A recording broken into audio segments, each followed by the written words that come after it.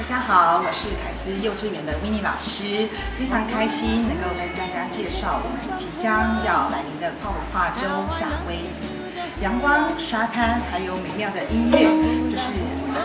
大家非常向往的夏威夷。那呃，在这次筹备夏威夷。的课程当中呢，我们非常开心能够得到夏威夷观光局驻台办事处呃严小姐的支持。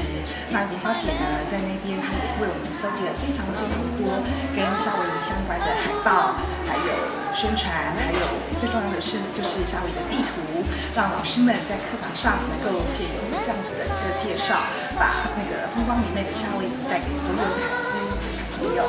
那呃，当然还有一个就是他也介绍了我们有一个。火山之花的舞蹈学院，在那里呢，我们也得到就是他们相当多的协助。那最重要的，我们还邀请了一个夏威夷的吉他手哦，他的名字叫做 David，他将于四月十四号来到凯斯为所有小朋友演奏夏威夷最著名的尤克里里吉他。那这样子的四弦琴的吉他是夏威夷独有的乐器，我们也将有大班的小朋友来制作这样子的乐器，然后在当天跟大家一起合奏，跟那个夏威夷吉他手一起合作。非常非常开心能够邀请到这位呃夏威夷吉他手来学校跟我们大家一起，就是啊共享夏威夷的飨宴。那呃最后呢，我们在四月的十六号，就是星期五的时候呢，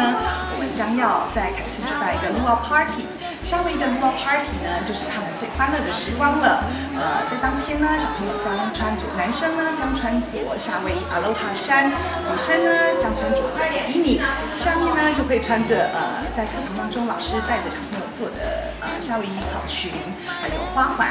然后呃盛装打扮参加我们的 Luau Party，那就是有老师